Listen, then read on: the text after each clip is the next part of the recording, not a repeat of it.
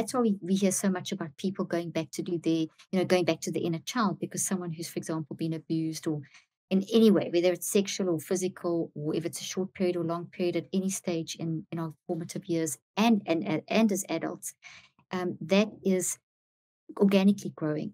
You may not be consciously aware, but you're in a situation where there's a similar smell or a similar sound or a Mm. similar looking person or a statement or a movie, and it gets triggered.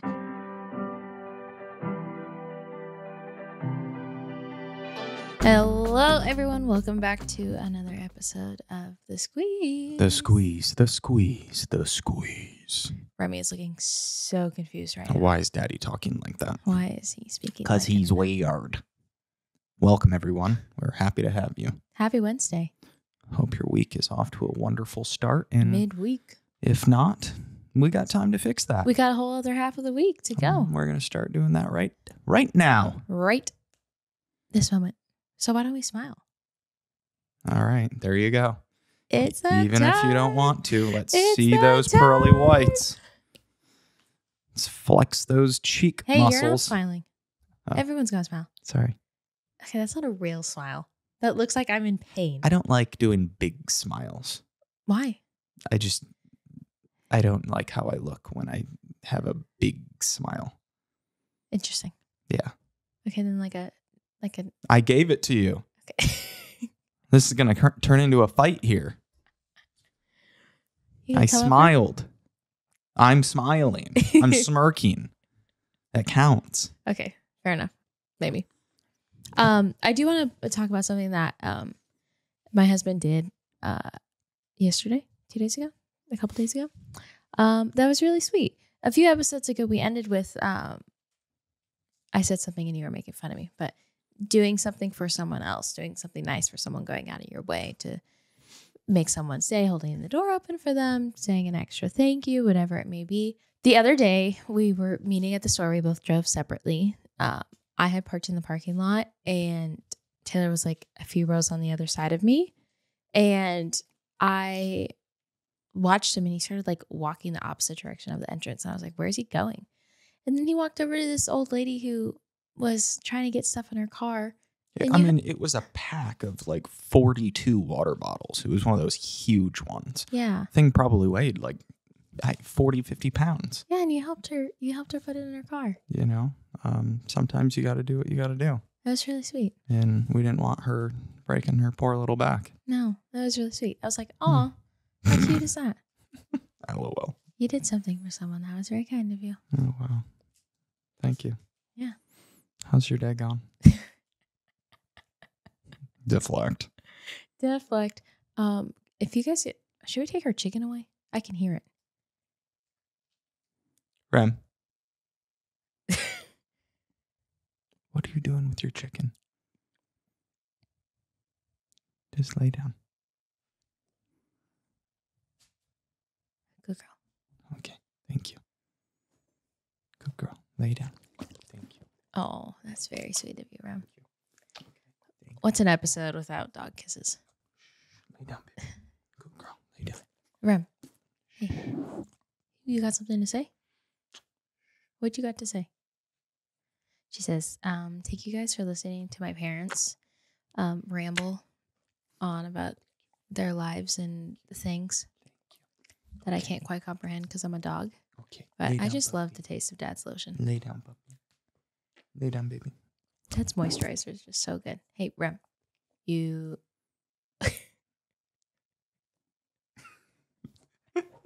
good girl. No, no, stay. Oh boy. Um, my day is going is going good. Um, I had a psych eval today Oh, yes, you did. for the first time, a full little Yes. eval. How did you feel about that? Good. I have Yeah? like a follow up to talk about some things, but Okay. it was good. It was I didn't know like what a psych eval was, but basically he just like Yeah, I don't know either. asked me a bunch of questions about how I'm feeling, different like things I could maybe struggle with, or you know, asked, yeah, just basically asked a bunch of questions about you know different emotional, different physical things that I've um been through and have dealt with, am dealing with. So yeah, it was it was really simple. Okay. Well, I'm glad you felt good about it. Yeah, it was great. Nice. Yeah. Well, who do we have on the show today? We have someone who actually has been highly requested Hmm. by our guests. You guys have been asking for her to come on for honestly quite some time. Wow. I had to laugh to myself because last week someone asked for her. And I was like, little do they know. Oh, really? Little do they that. know she's coming on. Uh, Dr. Caroline Leaf, we have on the podcast today. Yes. And What does she specialize in? Oh my gosh. This is one of my this is I had to ask her this. Um okay, so she's a neuroscientist. I have to read it because I, I can never say it. She specializes in psychoneurobiology Psychoneurobiology. and metacognitive neuropsychology. Ooh, not gonna try that one. Yes. But there's also metacognitive neuropsychology. She's a very, very, very smart lady. Yes. Oh my gosh. smart. Very smart, very kind, but we just had a very educational time with her, which was so fun because, you know, I Yeah, we definitely learned a lot. I love I love um I love learning and she she's a great person to follow. We have her um we'll leave like her Instagram down below. You guys should go check her out. She's great. She has awesome tools um for your mental health. She recently just came out with a book called How to Help Your Child Clean Up Their Mental Mess. Yes. Uh, we just kind of dove into Which is great for like parents. Yes. Right? Yes, yes, yes. Um, with kind of how to support, you know, your children mentally, Yeah. um, Very important. as they grow up, as they go through trials and tribulations. Um, but it was just really awesome to get to talk with her. She has some of the most insane stories of people that she's seen, people that she's helped, uh, and just very, very knowledgeable, and just has a really cool outlook on on mental health and on you know how to treat things and how she approaches it. Uh, I learned about the neurocycle, which is really cool. mm-hmm. Um, I don't want to give too much away because that was a fascinating part for me. Yeah. But yeah, we really we enjoyed our time. Yeah. Very thankful to have her and just yeah, honored to have her on. People sure. like her on this show. It's very we're very thankful for everything that you know that Dr. Leaf does, and you know that all of our specialists that we have on. Just do for the world. yeah, because we would not be sitting here today without them. Yeah. Because For we sure. wouldn't. We would not be well. We would be very unwell. There you go. Yeah. So I hope you guys enjoyed this episode. All right. Well, without further ado, everybody enjoy Dr. Caroline Leaf. Ooh. Caroline, thank you so much for squeezing in with us. We are so excited to have you here on the squeeze. Well, I'm really pleased to squeeze with you. Perfect. I love it. Okay, before we get started, I do I have a question. So, you have like a lot of titles and two of these words I don't even know what they are. Um, you're a neuroscientist that specializes in psychoneurobiology and metacognitive neuropsychology. Wow. Um, what what does that mean? Basically, I study the science of how the mind brain body connection works and the difference. So, the difference between them and how they interact and how that affects how we show up in life. And once we understand how we show up in life and how to read that, we can then track back and find out how to, we can basically deconstruct and reconstruct. We can reverse engineer back to the source of how we show up because how we show up is always uh, because of behind it. We don't just show up. You know, and when I say show up, our emotions and behaviors, how we're functioning in life. And so we can track that back and then we can re- deconstruct and reconstruct and rewire and show up differently. So we can can't change our stories, but we can change what it looks like inside of our psychoneurobiological network, mind, brain, body network, and Yeah. therefore how it plays out into our future. wow. Wow. Those words that that sounds so beautiful. Yeah, it does. I mean, I'm just curious. Did you like always have a passion for this, or what? What originally prompted you to want to get in this field?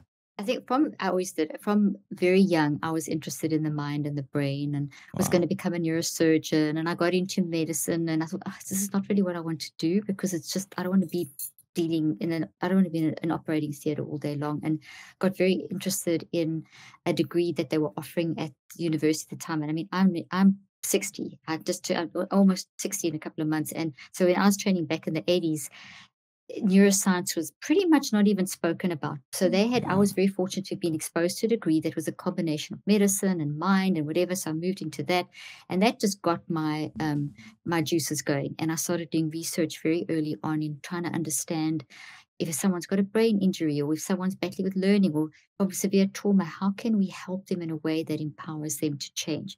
And that took me down a journey of, you know, understanding what is memory, what are thoughts, and what is what are emotions, and all these things that we throw out there and that are kind of overwhelming, and what that means and how we can actually change our mind, change our life, which is really great.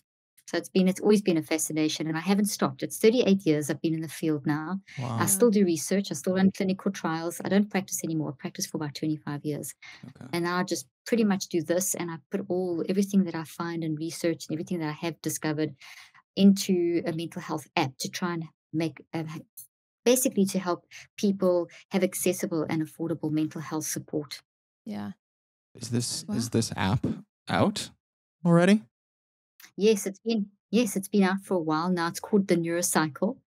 Um, as in neuro for brain and cycle, so cycling through your brain, and it's basically how you would use your mind to change your brain and body and change your messy mind. So you can you can literally drive the direction of how your brain changes, which is incredible. Because if you can if you can learn how to do that, you can pretty much rewire your networks and change how you function and it's not easy. I mean, it's easy, but it obviously doesn't happen overnight. Right. Yeah. But it's something that people don't realize how much power we have yep. and yeah. how to utilize that. You know, so it's because our current biomedical model is very much about labeling and sticking people in a box, very biomedical, very what we would call reductionistic.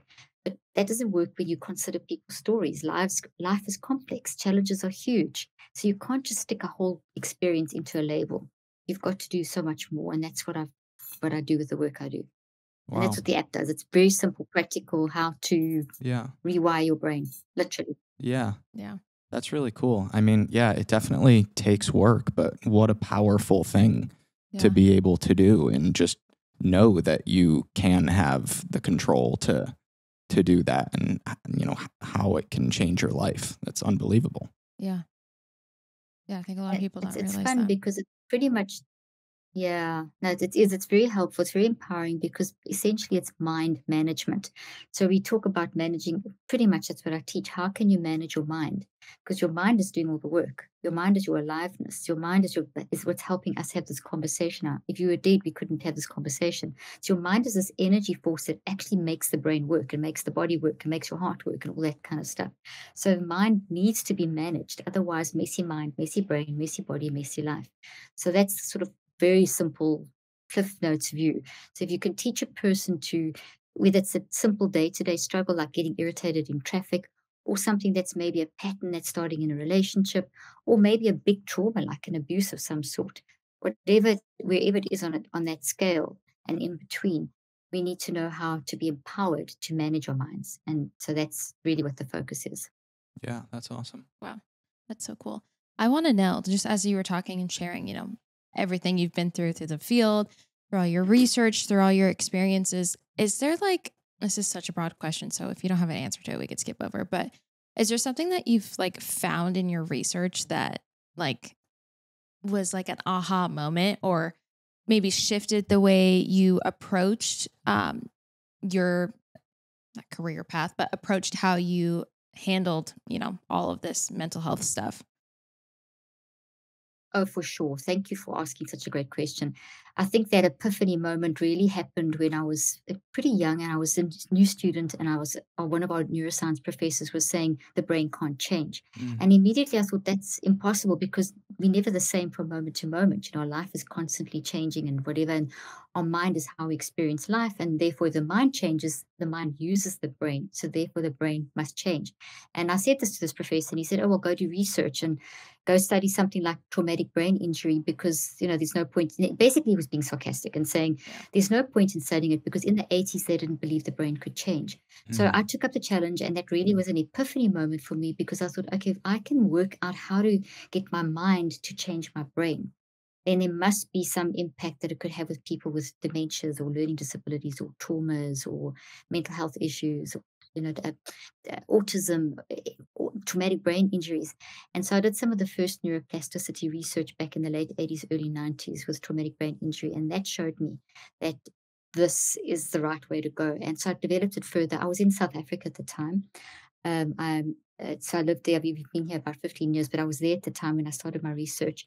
And that was around just post apartheid and the uh, well, pre and post it was during that time period. So i worked in a lot of the um, schools in south africa and a lot of the hospitals and things like that and, and seeing the trauma of um, of just people's i mean that terrible apartheid system and just what can happen when there's that kind of socioeconomic and political and you know all that's bad how it affects people as a community and so I was dealing with a lot of trauma with people in, in that situation. And I started applying this in that level at that level too.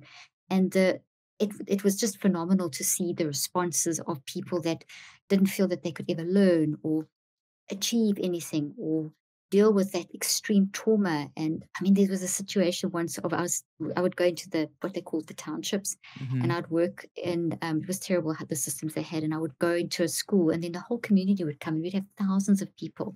That, that and I could go where. If you were white, they would kill you. I could go anywhere. I could get in my car. I could be nine months pregnant. I could drive because they understood that I came with a message of hope. So I worked there for years, and I'd go in, and thousands of people would turn up, and it, there were no microphones, so I'd have to like stand on a like Mm. a a Yeah. bench for something and teach the stuff. And the point is that I that I told them about how I, I couldn't fix everyone's problem, but I could empower them to understand how they worked Right. and how they could change and how they could learn and how they could deal with the trauma. And you know, so long story short, that those that combination of seeing people. The one day I had this one guy.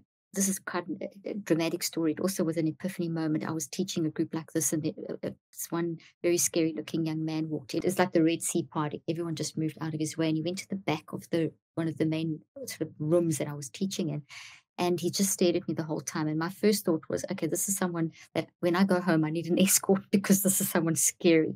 That's how scary it was. And as the five hours that I was teaching, I'd sit there for hours, they wouldn't move.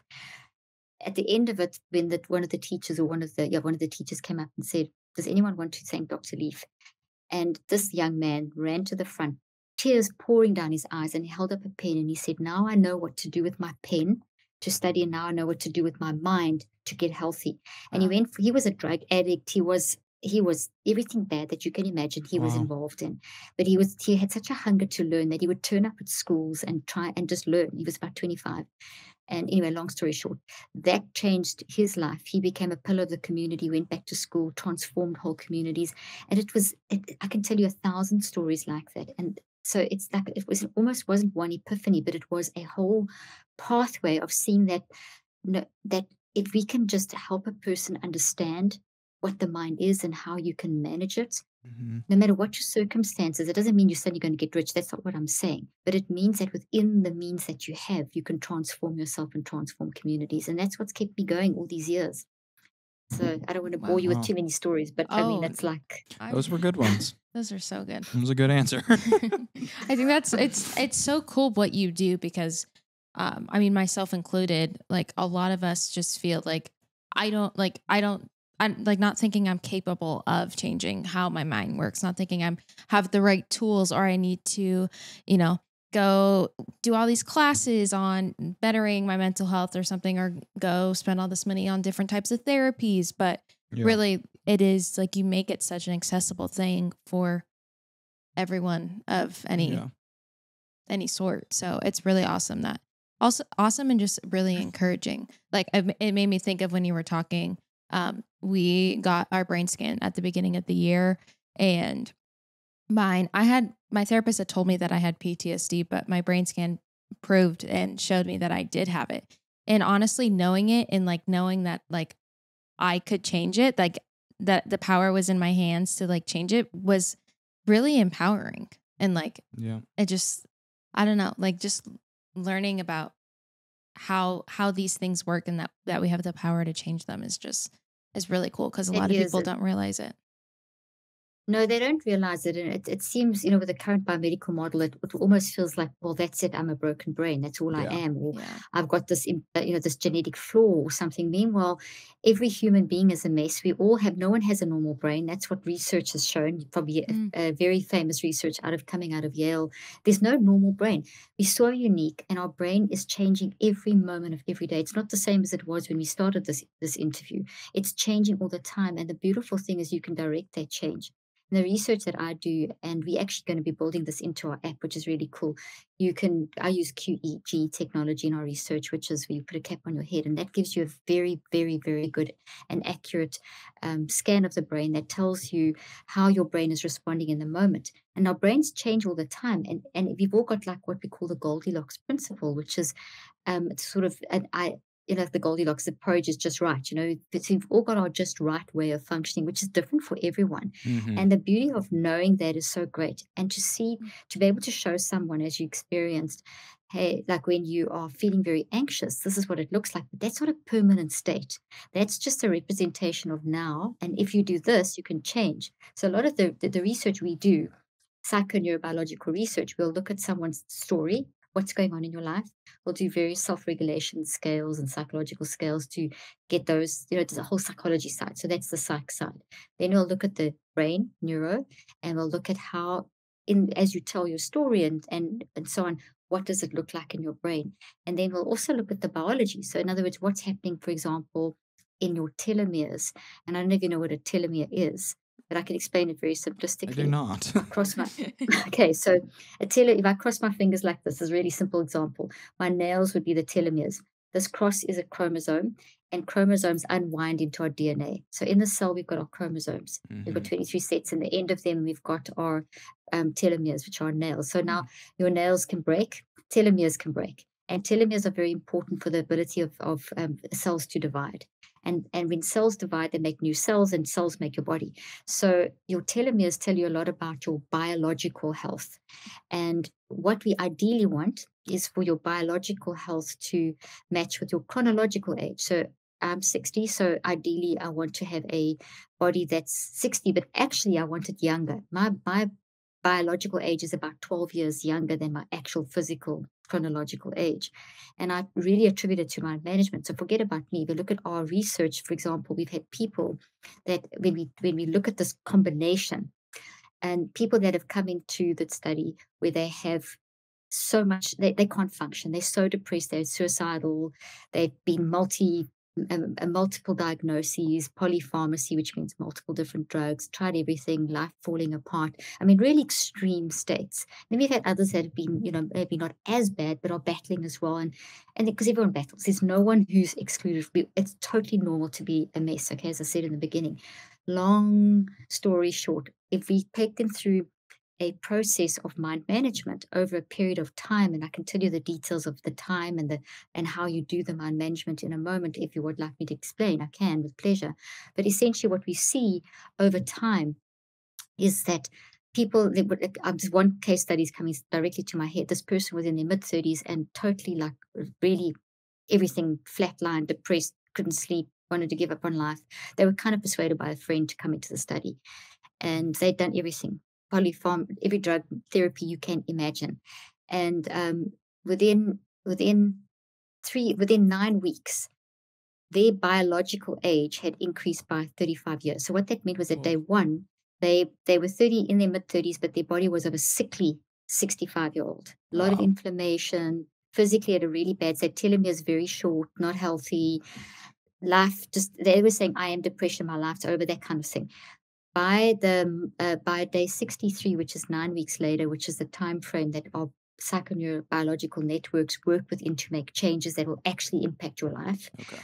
within nine weeks that person was saying i'm not scared of depression i'm not depression i'm depressed because of and it turned out that they'd had years of terrible childhood sexual trauma and that's their coping mechanism mm. was suppression but you can't suppress it because eventually it would explode which it did. It Yeah. exploded in their sort of teens and so on. Long story short they in within within nine weeks of mind management every biological measure that we did including telomeres showed that they had in, gained 35 years of biological health and felt that they, they had a sense of peace. They knew it. They were sad and grieving what they'd gone through and depressed and anxious because of that. But that's normal depression, normal anxiety. Of course, you're going to grieve Yeah. if you think of what you lost. Mhm. You know, so it's that kind of thing, and we do a lot of that. We've got a lot of studies going. We've got a big study running at the moment on this whole time frame thing, and I I mean, it's fascinating the sort of changes that we see. So, Well- that's. I mean, sorry, I can go on forever about this stuff because I want to do just this to test. give people.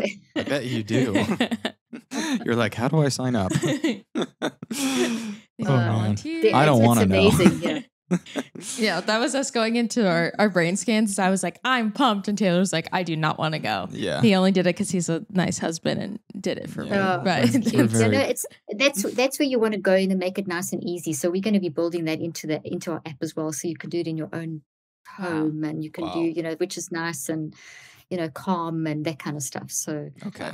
But in the but in the you don't even have to do the scan. I mean, the evidence is there. This is the beauty of science. That that um, the system that I've developed, when you do it, that's the sort of thing that's going to happen. yeah. You know, that's the sort of thing you can expect. You're going to, uh, but the biggest thing is not even so much what your brain looks like and what your body feels. It's what, how do you, how are you functioning? How are you feeling like you, are you giving yourself permission to be sad and to be anxious and depressed? And because those are very normal.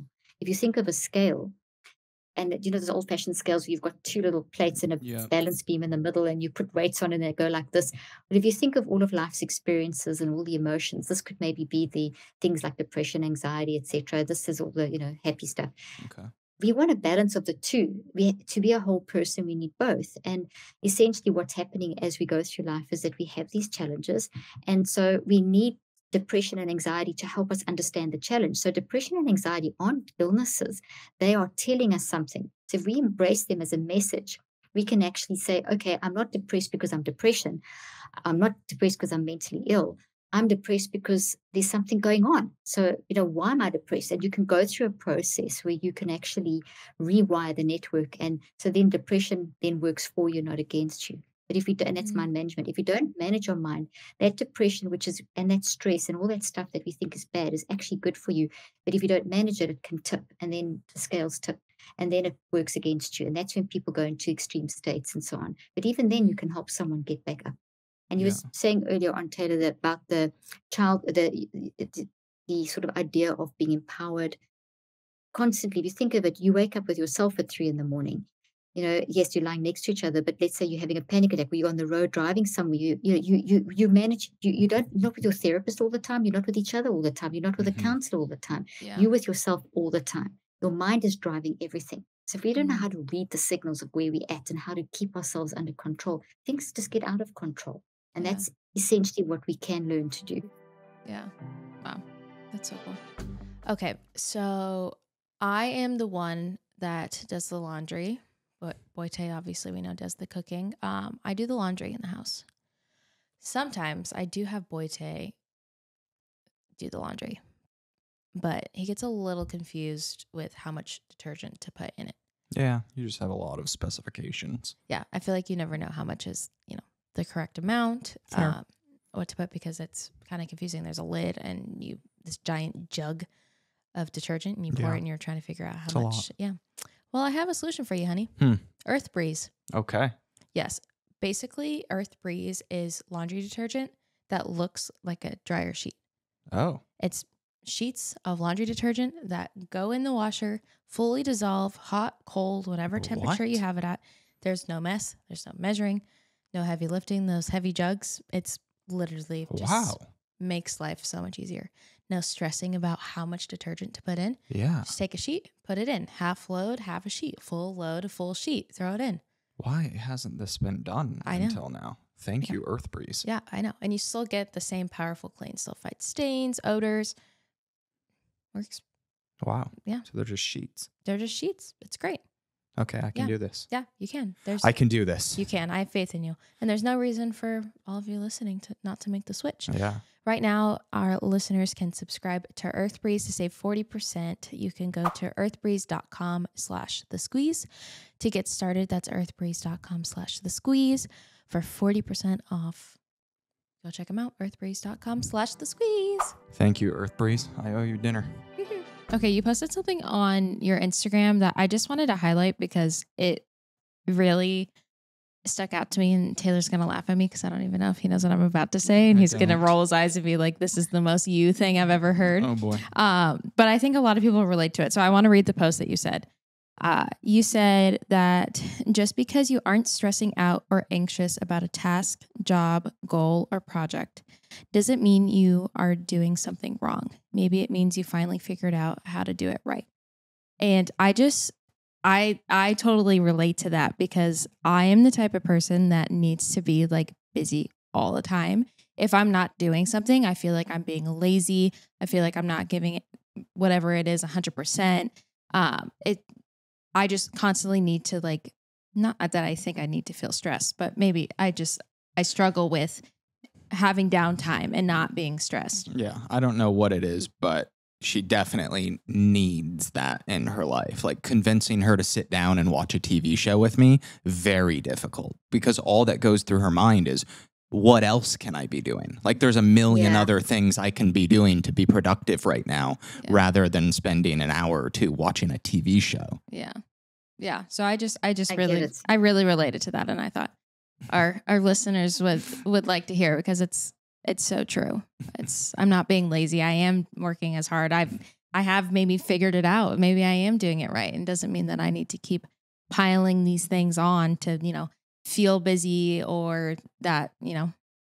So I just I really I really want such to a point good that out. point. Thank you for thank you for bringing that up. I mean, it's really important because we live in a hustle culture. And Taylor, male, boy Taylor, Yes. you've uh, you like my husband. You've kind of you've kind of managed to um, balance it. And if I look in my whole family, I've got four. We've got four adult children, and they all work for us. And if I look at it, I am the one like you, girl Taylor. I am literally always. I, they literally tell me, okay, you know what? Calm down. So I've had to train myself over the years to see that watching that movie or lying on my balcony watching the sea and reading a book or just playing with my dogs is as productive as you know doing it and you don't have to feel this buzz all the time but on the same note there is a level of satisfaction like when i do research it's relaxation Mhm. Yeah. it's not difficult for me it's as so to tell me to stop doing that so there's uh, so i want to bring some balance in here to this because Yeah. uh, That's true. th- there's this thing that you've got to do self care. In fact, there's some quite funny article about what was it? There was that someone, one of my kids sent through a, a, a, a some article about how self care has almost created rotten bed something or so, so people like sitting in bed and there's so much there's so much emphasis on self care Yeah. that we feel guilty if we're not doing the the formula. Meanwhile, everyone's got their own unique bio individuality. Their brain is different. Um, we do need to make sure though that we are resting. So there's a combination of finding that balance of am I stuck in hustle culture where I feel like unless I'm achieving something, I'm wasting time, or am I able to evaluate what what does t- time wasting mean? Why is not watching a movie productive? And understanding that and thinking, okay, well maybe I can watch a movie once or twice a week, but I really love to be reading. It's to work out what works for you, but to be completely honest and evaluate because unfortunately the brain and the conscious mind get very tired. They're like your cell phone, they are going to run out. But mm. your non conscious mind, which most people don't even understand exists, it's not the subconscious, it's not the unconscious. The unconscious is when you're asleep. The subconscious is actually just a portal, it's a doorway between the conscious mind and the non conscious. The non conscious is the biggest part of you, never stops. It's how you build life into your brain. It's how you, how it protects, it protects you. It's always looking for things that are blocking and sending signals into the conscious mind. It is sorting out things when you're asleep. So it's your best friend.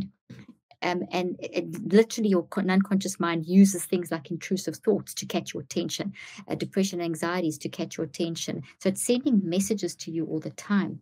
Mm. And what's really important is for us to be honest and open and to look at those messages and say to ourselves, is how I'm showing up with the need to do so much that I feel like unless I feel this level of whatever, I'm not satisfied in who I am. If that's really what you need to survive, always to bear in mind that there's only so much energy your brain has. So to make sure that part of that busyness is also some sort of relaxation busyness. So maybe you do need to read a book or you do need to read a research study or you do need to have a certain amount of things filled up in the day. That gives you peace, that's great.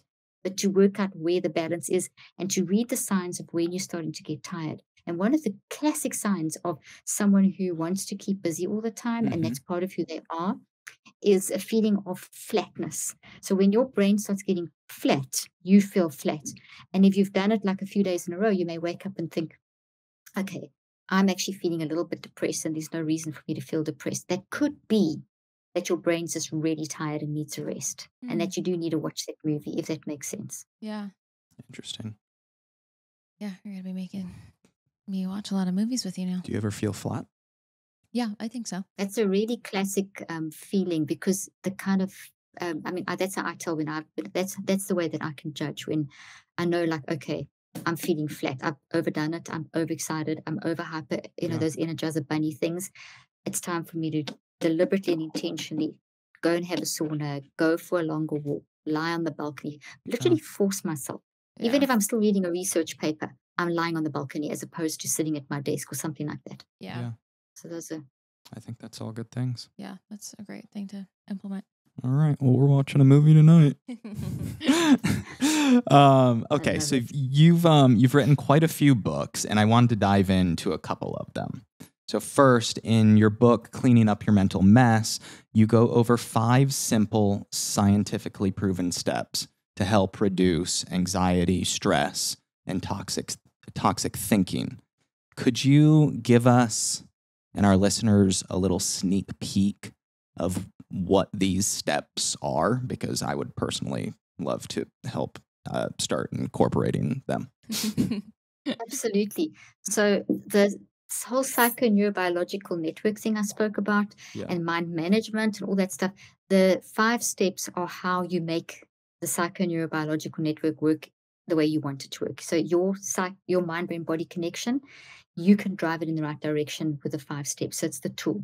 It's the system of how you make your brain rewire itself in the way that it should. Take that energy that's toxic and take those protein because thoughts experiences like this discussion now isn't just words it's actual electromagnetic light forces and and all kind and auditory sound waves and quantum waves and it actually goes in your brain and your brain then responds and builds proteins out of this information and this so this conversation for example is growing into a tree like structure which is a thought and everything we talk about is all the little memories. So you grow trees in your brain. So by the time we at at this stage in, in in in our lives we've all got trillions of trees because we've had trillions of experiences. So the good the bad the ugly are all built into your brain networks as these trees and they never go away. They can just get changed. So once Mm. they're there they're there. That's it but you can change them. So if they if it's a toxic experience think of an ugly looking tree. And if it's a healthy experience think of a healthy tree. That's a really easy way to understand Yeah. it. And not only is it a tree in your brain but it's also a change in every cell that you have. And we have about 37 to 100 trillion cells. And those cells are the, the the memories go into those cells as well. And that also goes into your mind as it like a field. So we've got to deal with all of that this field this trees these changes in our cells so just saying i want to change or just doing a breathing or meditation exercise or just doing positive affirmations none of those are wrong. They're all important and they all achieve a goal but what i found from our research is that and my clinical application and so on is that you've got to put you've got to follow a sequence.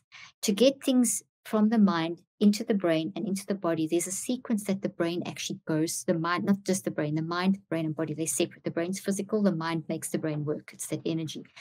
Um, so there's a there's a route and those five steps have grown out of that so the five steps are called the neurocycle which i mentioned earlier on which is in an app form. So the Yeah. app is like literally me walking you through the five steps in a sort of therapeutic sense and you can also use it in the moment. So the neurocycle is five steps for dealing with big stuff like trauma dealing with um, middle road of this middle of the road stuff like patterns that are maybe disrupting a relationship something and then the day-to-day stuff like irritating irritating traffic or an irritating email stuff that's not so big so Yeah. you can use in the, the neuro the five steps in 30 seconds in the midst of an argument to calm things down if there's a big pattern in your life you would use the neurocycle daily for about 5 to 15 maximum 45 minutes over cycles of 63 days which is the time it takes to rewire the networks.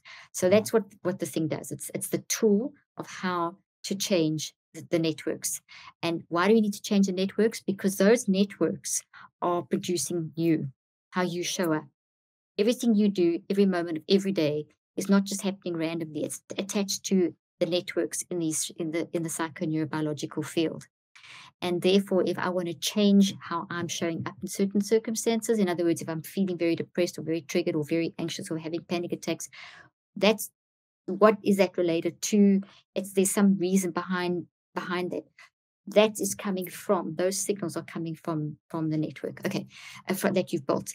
So you by using the five steps, you learn to observe how you show up, and then you reverse engineer to find the thought that it's attached to in your brain, mm. which has mm. got all these memories, and then you can break that down, go to the root, which is the origin story. Where did it, this thing come from in the first place? So the branches are kind of how you're showing up, and then the roots are where it comes from. And then you can't ever get rid of the tree, but what you can do is heal the roots and then that then grows the tree turns from an ugly tree into a pretty tree i mean that's like so mm, simple yeah. but that's what you're doing when that happens then your body responds so that's kind of the the behind it so do you want me to explain what the five steps are give you a brief overview of what they are yeah, I sure. Yeah, I'd love to know. Okay, so the five steps are called the gather awareness, the active, the gather awareness, reflect, write, recheck, active reach. Each word is deliberately chosen, and as you're doing it, all this fantastic brain stuff is happening. So it's like a lot of stuff happening. And I've got charts in the book if you want to go into the detail. In the children's book, which is how to help your child clean up their mental mess, which is mm-hmm. releasing in August. Um, that's got all this in very simple language. So a lot of the adults love this because it's all pictures and there's a oh, little yeah. character called Brainy that walks you. We've got this little character called Brainy that walks mm-hmm. you through the whole is your mental health the mental health journey. We'll send you oh we'll gosh. send you Brainy in the so book cute. and whatever. Anyway, so the cartoons are a great way for kids to relate to, but it's the same concept. You can teach a child as young as two how to do these five steps. You just got to do it slightly differently. Okay, so this is what you do the first just before you start the five steps you need to prepare your brain because your brain um, and your brain and your body and your mind you've got to prepare the, the, the psychoneurobiological network because the chemicals are flying like crazy the energy's gone crazy there's chaos depending on, and it may be a little chaos or big chaos, it's messy. So if we're going to do some work of changing stuff, of trying to find out and change something in our life, we have to calm down the brain first. So you do a bit of brain preparation, and that could be anything from breathing, meditation, awareness, whatever, anything in that region. Um, it could be something as simple as if you're very worked up or you're trying to just get your mind calm, you could think of five things I can see, three, four things I can smell, five, three things I can, you know, things like that. So it's all there's a million techniques out there that fall in under the brain preparation active um, cap, uh, sort of area, and that you that's not enough though to start to to finish. That just starts the process. A lot of people only do that, and it's like a band aid. You know, on their own, mm. they do not work for long term. They don't create long term change. You can keep using them, but it doesn't solve the problem. But you need them to get the brain under control. Right. So you need them plus. Yeah. So the neurocycle is the plus, and the and so therefore once you prepare the brain, then you're going to gather awareness. Now gather, note the word gather. Gather means that I'm in control. I'm selecting. I'm choosing. So you're going to choose what you want to focus on in the moment. So it's not all over the place and chaotic. It's very focused, and it's and you you gather awareness of four signals. So we show up as a collective four signals. So all the way we in a comment. Let's say that you have a, have a, a, an argument with someone. The way you're showing up in that moment, you're going to have emotions. You're going to have a response in your body. You're going to have behaviors, how you're speaking, what you're saying, what you're doing, and you're going to have a perspective in that moment. So angry, um, so uh, tense shoulders, um, irritated speech, and um, I hate this person or whatever. I mean, I'm just saying stupid stuff, but it's stuff that gives you the idea. So you gather awareness. Now, that simple thing of just labeling in four sentences starts to change the networks. It brings stuff into the conscious mind and it makes the trees weak and malleable. So now I can change it. It also makes us aware of stuff we weren't aware of. And so we can start breaking patterns and so on and, and, breaking responses that were maybe trauma responses for coping and stuff like that. So it brings into awareness and it's very focused. Then you immediately go into reflect. And reflect is why do I have this emotion? What other emotions I have? And why is it showing up like this in my body? And where, when, what, why, how? So it's like shining a light through a prism. A white light becomes a rainbow when it comes out the other side. So the reflect is taking those four things you gathered awareness of, which are four little sentences, and and doing the why stuff. Then you've got to write that down. And I'm not talking journaling, I'm talking literally throw it on a page. The mm. messier, the better, all over the page, colors, pictures, arrows, circles, whatever you want, and whatever comes to your mind. Because at this stage, you've opened up the networks and you've opened up access to the non-conscious mind, NON, and that's where all of our networks are stored. And it's kind of like the. I'm sure you've seen the the big redwoods in San Francisco, the root systems. That's Mhm. what our networks look like. They're connected. So once I pull up one, associated thoughts will be pulled up. So sometimes Yeah. there's a whole bunch of associations. Okay, so you get the idea. So the writing starts pulling that up and giving you insight. And what's really important about that stage is to just get it all on a piece of paper and not to worry about, oh, what is this? Doesn't make sense. Just get it down. Then in Yeah. the fourth step, you go back and you look and make sense of the whole situation. What are the patterns? What are the triggers? How can I reconceptualize this? Look at it through another lens. This has happened. What can I do? And then you close the cycle because your mind, brain, body network works in cycles. So the first four steps have taken you in a cycle like this. Now we need to close the cycle. So the active reach closes the cycle, and then another one will start. Hmm. And the active reach is a little action that you can do, simple thing like it could be just a statement, a positive affirmation, a little visualization technique. It could be anything related to the work that you've just done, and uh, and whatever. So now let me talk through this very fast. Let's say that you're in an argument, in a meeting, and someone says something that really triggers you, and you can feel yourself about to explode. Yep. So you can quickly do a neurocycle. So you can quickly in your mind, in like 10 seconds, I'm, I'm angry, I'm going to explode. Notice this, I'm angry, emotion. I'm going to explode, behavior. Um, my I've got immediate fluttering of my heart. I'm getting like, and then my perspective, this has gone on too long. Quickly say that. Why? Okay, there's a situation here. This is happening too often. I can't. This has got to be dealt with. It's impacting. Just quickly in your head, just give yourself the reason why. So you're validating yourself, you're allowing yourself to be messy, you're not denying, you're not whatever.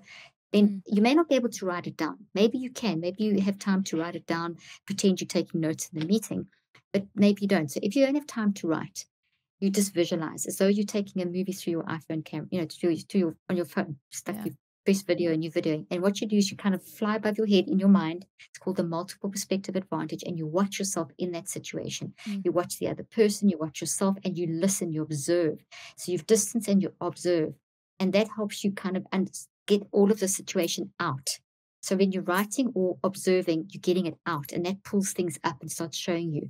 Then you're going to go into the quick recheck. Okay, I see that this is happening. This person's losing their cool, but let it, it often shifts you into empathy, where you think, okay, well maybe they they're showing up like that because there's something that they whatever. So you start seeing the other perspective. That that is very powerful. It starts showing you another a bigger bird's eye view of the situation. So your recheck is okay, well, I can't explode now. I feel much calmer. Just having done those, you feel calmer. Mm. That person's saying that ridiculous thing. I don't agree with the word they said, but they've got a reason. So let me try and get that reason out of them so that I can reason with them or whatever, and we can solve this problem. So that's kind of a recheck. And then the active reach, you calmly say to them, is this what you mean? And you maybe repeat back what they said to them to reflect back to them what they said. And then they can say, oh, no, I didn't actually mean it that way or whatever. And you Hmm. can actually move forward. Now, that can happen in 10, 10, 20 seconds and can turn a potentially explosive situation into, into something that actually can be taken to the next level to analyze what a better solution is or whatever. So that's an example of in the moment. Yeah. But if you're doing this over time, if it's a big trauma that you're dealing with, so there's a, and how do we recognize a big trauma? Changes in our patterns or consistent patterns that are disruptive, whether it's in a relationship or at work or just in how you feel about yourself. If there's a lot of negative self talk and that's a pattern, there's a Mhm. there's a reason. And then you would have to do the neurocycle daily in this planned and guided way over time to pull all of that up and change because habits don't form in a day. They form in cycles of 63 days. So that's the basic principle. so cool. Yeah. I want to like learn how to do that. you Start- wanting to learn? No way. Start if I know I have a problem. I like I love it. You I like No, learning. this is great. I love it. But, we- but when you start doing it, it's unreal. I've done this for years now, obviously, because I developed the system years ago and proved and whatever, but I, I use it daily. And I'm always doing, like when I get up in the morning, that's what I'll do a neurocycle to get me into that frame of mind and check if I'm not complaining or something, because the way you wake up sets the tone for the day. So you can Mhm. quickly get yourself under control. And while I'm getting ready, I'll work on if there's a pattern in my life. In a situation, like if I get thrown, and I react, I can get myself back under control. So I don't have it all together, but and I still lose it and get frustrated and still get upset. But it, I don't stay like that for longer. It's like this would happen before and I'd get stuck. Now things happen, I get thrown, but I get back up quickly. So Yeah. my resilience has changed. And that's what I found with my patients and whatever over the years. So it's a life skill. This is not a new therapy technique or a, a new self care thing. It's basically a life skill Yeah. Your mind drives everything. So if you don't manage your mind, all those self care and whatever, Yeah. everything else you do isn't going to be functioning at the level it should. So your Mm. mind, because your mind drives everything. Yeah. Wow. Wow, that's so awesome. Um, I want to stick on your new book that at this time is not out, but by the time this episode comes out, it will be released. So, congrats on the new book. Um, Thank you we're so super much. It. super excited for you. Need a little brainy, a little brainy guy over Uh, here. I know it's so cute. We'll make sure you get a brainy. It's very cute. I love, I love the little brainy. so cute. Um, My but I dogs. I do want to know in the note of your new book. Uh, I mean, we I think we kind of touched on it, so maybe this is the answer. But if not, I would love to know um, about like how do our mental messes messes from our childhood follow us into like adolescence and adulthood? Is that kind of what you were saying with the trees? Is that how they're they follow us because they're there? Excellent question. Anything that we've experienced is influencing how we show up. So all our collective experiences are influenced. That's logical. We all know that. But it's, this is real now. It's actually real trees inside your brain. So if it's a toxic tree, um, it is influencing how you show up. Now, anything that's toxic is um, because it's not normal to be abused or not normal to be bullied or whatever, unless it's processed, that we, we, we develop coping mechanisms. So you can almost think of the branch, the roots as the experience, and then the branches of how we interpret that experience and how we cope. And then collectively, that tree works with the mind and the body. And here you are in life, at school, at work, in relationships, etc. So that never goes away until we do something about it. And that's that explosive thing that I explained earlier on about that one client who, I mean, the one person in the study who had that extensive Yeah. childhood trauma and so on. So um, it, it carries through in that eh, whatever you think about the most will grow. Whatever is unmanaged or undealt with, the tree in the forest, think of it like this. A tree that's in a forest, if it's planted in the soil, it's still getting nutrition. It's not going away until you actually do something to the tree, maybe chop it down or um, change the, you know, feel, heal because you don't want to chop down trees. So we're going to, and you can't in your brain, they, they never get chopped down. They'll just grow back up again. So you might Yeah. chop it down. They're going to just, they just pop straight up again. They're even more toxic than before. So we have to go to the source and we have to heal the nutrition, the, the, the roots and things like that. So Mm. in it, in childhood trauma, that that is undealt with. We've got that toxic tree that unfortunately is growing. It's organic, it's dynamic, it's not just stuck in one in time. And that's why we, we hear so much about people going back to do their, you know, going back to the inner child because someone who's, for example, been abused or in any way, whether it's sexual or physical, or if it's a short period or long period at any stage in, in our formative years and and and, and as adults, um, that is organically growing you may not be consciously aware, but you're in a situation where there's a similar smell or a similar sound or a Mm. similar looking person or a statement or a movie, and it gets triggered. Yeah. And every time it gets triggered, it grows a little bit more. And Mm. eventually it's so big it, it, that you can even, it can get so big that we can look at life through just that tree. So here I've got a forest of a trillion trees, but I am stuck in this part of the forest that's toxic. And that then influences. So there's a story in, in the book of someone that I had never actually met until I had actually written, was almost finished writing this book. And it was someone who um, uh, got on my research team and was uh, was a part, it was new on the research team. Yeah. Unbeknown to me, they had discovered the Neurocycle app and were using it. Now, this is just very quickly backtrack. This is a stepmom of a child who was her, and when she married her husband, it was his child from his first wife, and that child, uh, the, he left her immediately. Whatever, there was no, it wasn't a good relationship. She wasn't a great mom, but he didn't realize how bad she was, and so basically, the child was physically abused from physically and sexually abused from the age of three months. I mean, it's horrific. It's a terrible trauma. And then they only realized um, a couple of years into that child's life that what was happening, and it took them another whole year to get the child away from that mother because of whatever social services and whatever Wow. long story short, they got the child, but now that child was manifesting with all kinds of behavioral problems Yeah. and uh, illnesses. And I mean, this child, by the time the child was eight, this child had every label under the sun from autism to bipolar to everything you Really? could possibly give someone. This child had it Wow. at eight. And they were, you know, they were literally forcing them to put the child on medication because that's what the current system says. If you don't do it, you the schools will report you. And so they were really in a tight place Hmm. anyway long story very, very the story is is ends up very happily the parent the mom it, is a researcher is a um, was got it, was working for a company that works with me on my research team and happened to be part of the detail on one of our um, studies. Started using the, uh, the the neurocycle and to help herself just cope because the situation was terrible. The child wouldn't sleep at night. They couldn't go anywhere. They couldn't do anything. The child would sleep less than four hours at night. They'd wake up every Wow. couple of hours with nightmares just because of everything that had been happening. Impossible at school. They had to homeschool.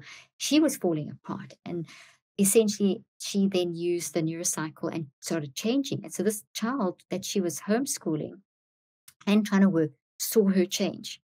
And and this is key. If you're going to help your child, and that's really the principle operating here, in order to help our children with through this mental health crisis that we're in, we have to teach them mind management, not more Yeah. medication, not more drugs. This child saw the mom change and said, "I want to do that. What are you doing?" And mm. I didn't have the children's version out yet. She just adapted it down, and the child did it with her. Within four days, this child was sleeping through the night. And there's interviews and things that I did, which I put into the book. But it was such a I could put a, there was a thousand stories I could have put in this book, but I put this one in because it's so dramatic in terms of this trauma, childhood trauma Yeah. that persisted from three months through to eight. The child's now um, almost nine and a half, and has uh, this. The difference is phenomenal. The child's at school, coping, still has issues. I mean, who doesn't? Yeah. and there's still going to be stuff that carries through. But there, as something comes up, this child will turn around and say, "Okay, I needed, I, I, I know what to do," and this child will tell you. I mean, it's unreal the kinds of comments that, that, when I interviewed him, he was eight and a half. Wow. By the, the, the sort of things that he would say that once he knew how to do the neurocycle, he said, "If I'm feeling bad, if I miss one day." I'm, I, I go do my neurocycle and it helps me. And he'll draw pictures like, I don't, I don't want to have nightmares tonight. And here's my picture of a, of a nice dream. And there's a, a house with a chimney that's got hearts coming out of it versus a, a Mm. little chimney that's got black smoke coming out of it. And he said, I go to bed and that's my active reach. So I go to sleep thinking I'm going to dream the heart. I'm going to have Mm. the hearts coming out of the. I mean, kids are brilliant in how they Yeah. how they talk about it. Yesterday, I was speaking to a 16 year old that I didn't even know was doing my neurocycle with someone that was, it's a group of athletes that we're going to be working with, and the daughter was battling and uh, sort of using the neurocycle, and it transformed your life. So, I mean, I'm not, I'm not trying to push my stuff. Really, it's Mhm. not, it's not the neurocycle. It's the, uh, the neurocycle is the system. It works Yeah. Yeah. and that's why we I don't practice anymore. Why we don't we put in something for ninety nine dollars for a whole year. You can get on the app. The book is if I don't hide keep anything back. I give every skill possible that you can be empowered to help your child and not break the bank in the process. You Yeah. know, by, it's it's we it's it's our right. It's our human right to mm. understand how to deal with that stuff that has happened to us and to help us feel like we've got an identity again, that we have value and that I can do it. I don't have to rely just on the external. I can actually learn how to do it myself and I'm not broken. You know, Yeah. that um not forever broken, you know, that kind of concept. Yeah. That's Wow. truly Sorry, I get so passionate about this because I've just seen such transformation and this is why, you know, this is really why I do what I do. Yeah. No, I was like, push it all you want because it's clearly, it's clearly worked for a lot of people, and it's so cool that it's been able to help so many people. Were you going to say something? No, I was just gonna say that it's unbelievable, and um, yeah, the power of the brain is unbelievable, and uh, those example stories are just Yeah. phenomenal, Yeah. They really are. Uh, very eye opening. Yeah. Uh, last question before we let you go. Um, I would love to know what, I mean, you, you can answer this however you want, but what do you think is maybe wrong with how we're currently treating depression, anxiety, and other mental health issues in children today? Thank you for asking that question. And, and my answer applies to children, but it also applies to adults. Okay. Um, the the short end of the of this of the sort of the Cliff Notes version is that things shifted around about the way we deal with mental health shifted dramatically around about 40 years ago, 40, 45 years ago when they discovered the first medication to give to people that were really out of control and it sort of it calmed them down. So a whole industry of medic of drugs for helping control mental health developed. At the same time, the psychiatric guild was very um, threatened because they weren't seen as real doctors. So it was now a thing of, oh, okay, cardiovascular surgeons have got a heart weaker, we've got the brain weaker now, medicate and whatever. So it, it, it, there was a lot of that kind of thing going on. Yeah. And that combination is a very powerful combination that then pushed in um, the concept of mental health into the world of um, the biomedical model. So it's kind of what I said in the beginning. You can't just, if someone has, a, like the story of the child I just told, Yeah. if if you what happened with that child is that the symptoms were the only thing that were it was the symptom that was the focus and elimination of the symptom. This child's showing these um, behaviors. Let's eliminate those behaviors through a diagnosis and a medication. And yes, there was bits of therapy, but the therapy was around that sort of focus. So that shift from looking at the whole person in their circumstance and understanding that anxiety, depression are not illnesses, but are emotional warning signals that are very normal responses to adverse circumstances. That focus shifted to uh-uh, that's not what we're looking at here. We're going to treat it like diabetes type 1, which we know is a problem with the pancreas. You can do tests, you can diagnose, you can mm-hmm. track it back to the underlying biological cause, and you can aim a medication at that. That's a medication. It's identify. It's it's trying to help with the lack of insulin. So Yeah. makes sense. But when it comes to that child's story, that's not a chemical imbalance that that child has that you can fix with a drug. That's not a um, a drug related problem. That's not a brain related problem. Although the brain has been damaged because the mind uses the brain, and that toxic, constantly having those toxic trees in the brain will affect the telomeres and the hormones and the stress system and physically weaken the biological age of the body. So therefore, illnesses will develop, which this child had, which people, which that case study I gave earlier on in my clinical trial, they had physical problems. So that's very normal to have the physical sicknesses, but that's not the cause. That's the result. Because Mm. if you can constantly take a computer and throw it on the floor, it's not going to work properly. So that's the principle operating here. Yeah. Um, and so essentially what we need to what we what that shift then led to um, the situation of instead of looking at the whole picture, diagnosing symptoms. And if you do that, you're going to land up with a crisis. Now, here's the question very quickly to summarize this. If that system worked, wouldn't things be better today than they were? 40 years on, we're sitting with a problem that was picked up in the early 90s. Yeah. And that in between 2014 and 2015, a huge studies were done over a long time, from 96 to 2014, and multiple studies globally.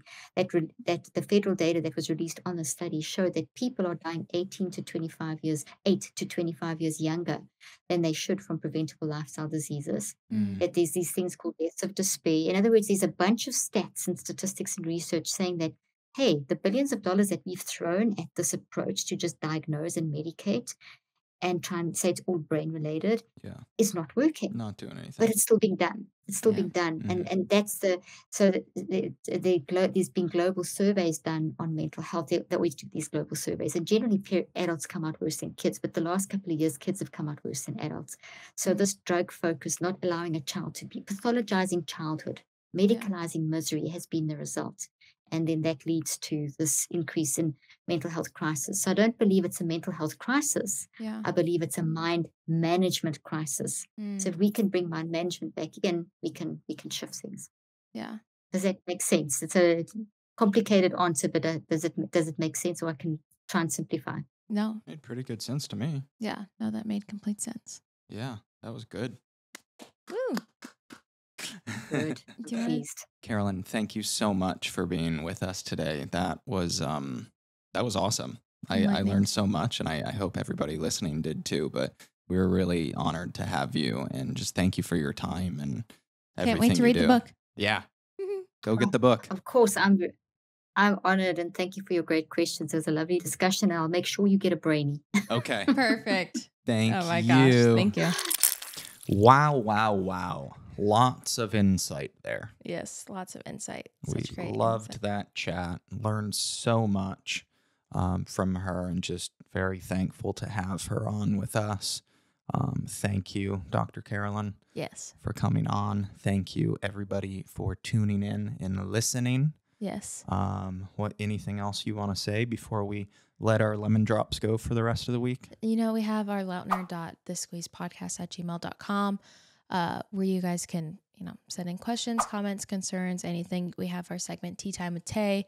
Um, we want to start integrating like an advice column segment type thing. Yeah. Um, so if you guys need advice on anything that we could maybe help you out with, obviously we do not um, have any medical advice to give. Just want to put that little disclaimer out there. Yeah. But for one Um, of our one of our next upcoming solo episodes, Yeah, we want to do kind of like an advice section. because that sounds fun, and Doesn't a lot of have you. to be serious. I mean, it can be, but it also can just be like something funny too. And Yeah. we'll we'll pull a few of the uh, questions. Yeah, we've both definitely been through a lot of a lot of life, but a lot of different life experiences. Um, growing up and being now together, going through stuff. So Yeah. yeah, I'd like to think we have some kind of fun outlooks on things. Okay. So that's all. You know where to find us on the socials. If not, you can click down below. You guys have an amazing rest of your Wednesday. We will see you next week, and we are so thankful that you are here. Adios, guys. This podcast has been brought to you by Podcast Nation.